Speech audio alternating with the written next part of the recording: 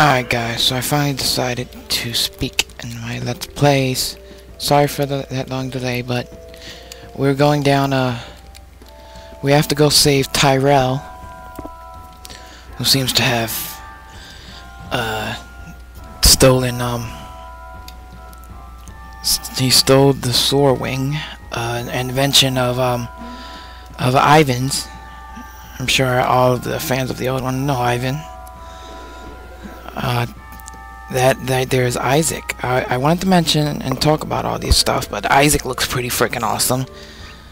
As for Garet, I think he just grew up into uh, a pain. More of a pain than he was when he was younger. Garet seems to be more ma uh, mature though in this one. Or at least acts that way, the way he keeps uh, sheltering Tyrell and, you know, scolding him and whatnot. Calling him a brat. That cave that Tyrell flew to is still a hike away. I thought we could reach the cave long before it got dark. Now we're in for trouble. I never intended on taking the kids into the Tanglewood. Let's read up on the Tanglewood. This forest is said to transform at night, changing into a wood that ensnares those brave or foolish enough to enter it after dark. Well, we've never been in, a, in the forest at night either, but now we have to find Tyrell, so let's press onward.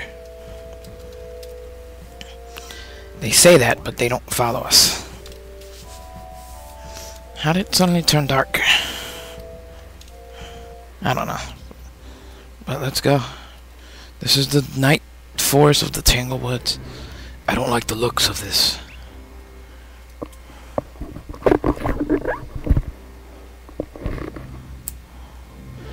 Yeah, nightfall not good.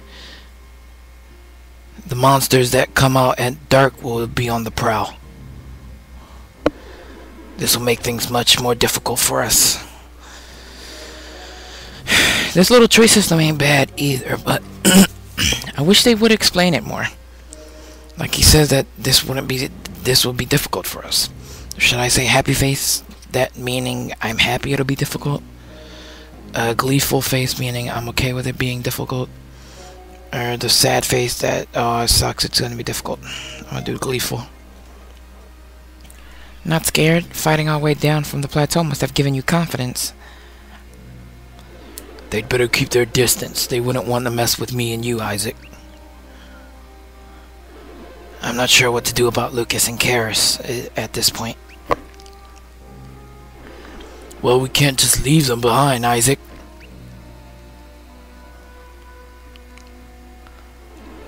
Of course not, but they can't go on ahead of us either. Monsters will sense that they're easier prey.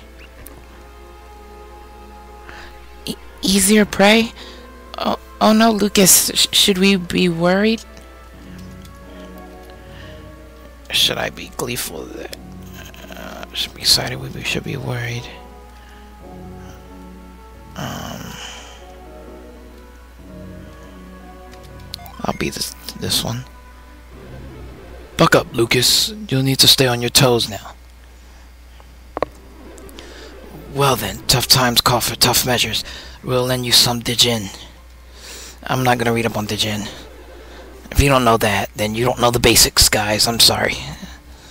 Only until we find Tyrell, however. We're very attached to our Djinn, of course. You were planning this all along, weren't you? You'll let us borrow some Djinn for a little while? Using Djinn to battle would make us much more powerful. Do you remember how to use Djinn? Yes, I do. I'm not gonna go into the tutorial, but they're gonna, uh, they're gonna make you anyway. Good, but we can never be too careful. The Djinn offered too many benefits to miss any. We should have one of our Dijin explain things.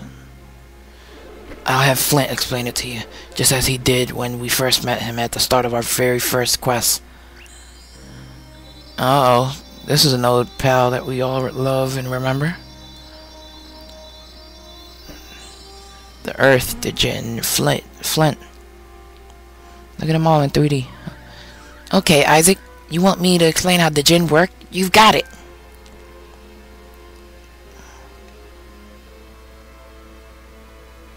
Hello, Lucas.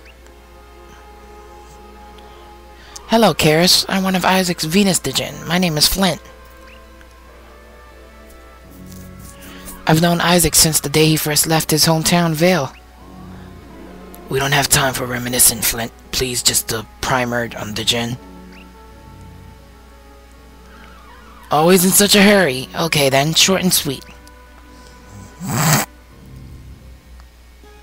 How to use the Djinn. We the Djinn are nature spirits. There are four types of us, Venus, Mercury, Mars, and Jupiter. We span the four elements. Venus Djinn are from the earth, while Mercury Djinn come from water. And Mars Djinn are from fire, while Jupiter Djinn are based in wind. When you set the Djinn on someone, his class may change. In this example, these two the make Lucas a brute. And that the Djinn holder's stats, such as HP and PP, may change as well.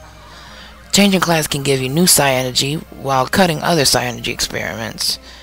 Cutting other psi energy. Experiment with classes to access new powers. Each Djinni also has a unique power. Throw the Djinni in, into battle, and it will help you fight. Now watch how to do this.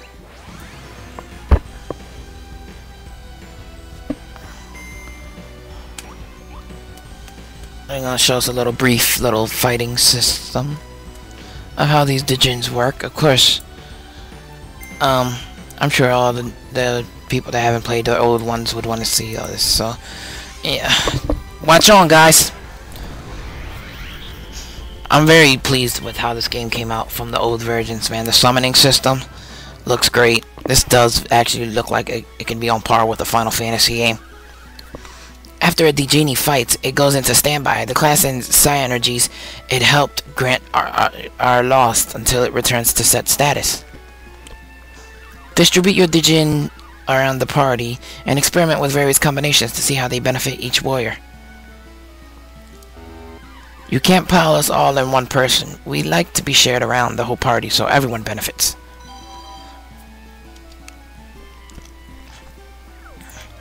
As I said, the Djinni go into standby after battling. You can also assign this status in the Djinni menu. So, why is standby useful? Because standby Djinn can summon powerful spirits into battle. Anyone in your party can draw upon the pool of all Djinn currently in standby. Now watch how to summon a spirit.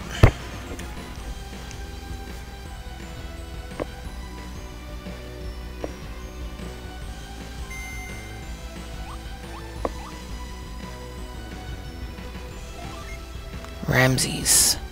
Guardian of an immortal uh, something.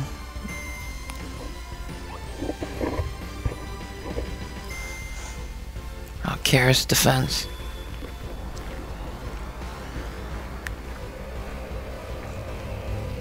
Look at this cinematic, like how great it looks. This is what really made them outdone them themselves with the summonings, man.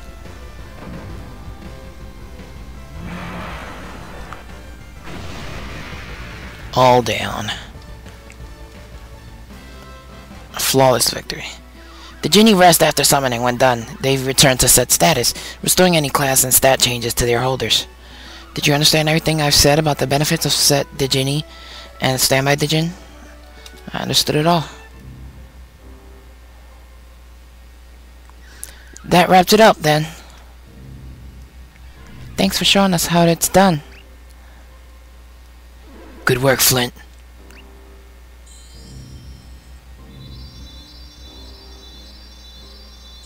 Good work, Flint. Okay, let's divide up the Djinn. Remember what Flint said about dividing them evenly? Yes, I do. Good, because learning how to set your Djinn is crucial. Let's hurry it up. Tyrell is waiting for us. Gather around these crystals. Ready, Karis? Ready, Lucas? Three the Djinni each.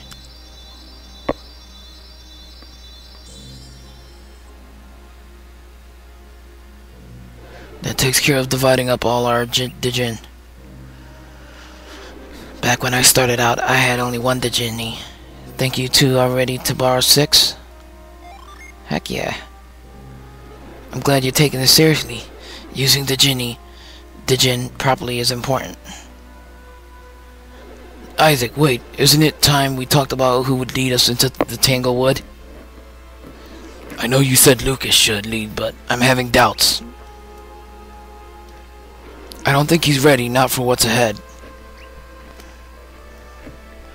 So Lucas shouldn't be the leader then? Leading people into battle is never easy, kids. Back in the old days, Isaac and Felix were our leaders. Let's check up on Felix. Another one of Vale's Earth Adepts led a second party that joined up with Isaac's group in the days before the Golden Sun. Felix's sister Jenna and the scholar Kraden were others from Vale in his party. He left his homeland and has not been seen since. And you know your dad has never been the easiest guy to get along with. But we've always managed to set aside our differences. We're a great team, especially in battle.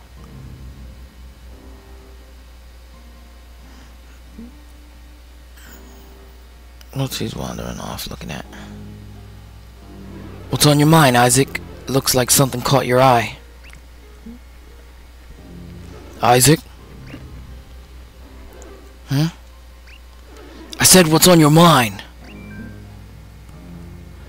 I can usually read him like a book. Even if it is a thick book half the time. Hmm, yes, thick book. Funny. Now, if you're done talking, I've had a thought. About the leader. About the leader? Who's it going to be? Stop beating around the bush, say it already. Lucas will continue leading, of course. Just brilliant. We're back where we started. You want Lucas to lead. Garet, stop. He'll lead, but now we now we'll help out in battle. But my son isn't ready to order around veterans like us, are you, Lucas?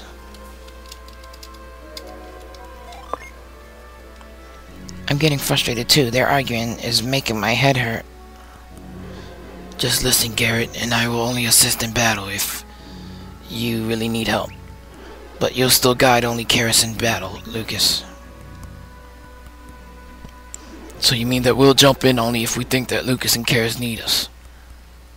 Precisely. Seasoned warriors like us can swoop in fast if things get out of control. Okay then, you two should be fine. Why does he have the permanent grin on his face? Of course they will, Garet. Now let's get moving. You heard him, boss.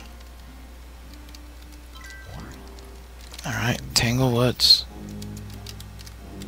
There's a chest here.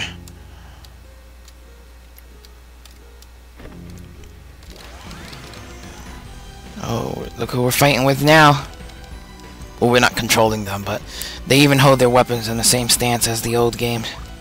Which is pretty awesome. And now we have some cool Psi energy. Oh, that's nice, Jones. I love Karis's whirlwind, though. It takes them all out pretty quickly. Uh, these things survived. Fireball.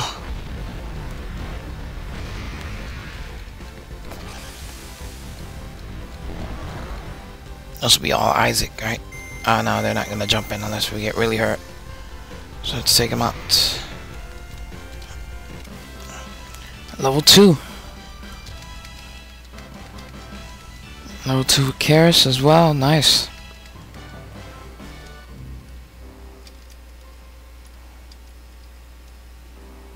Let's see. I want to get to that chest.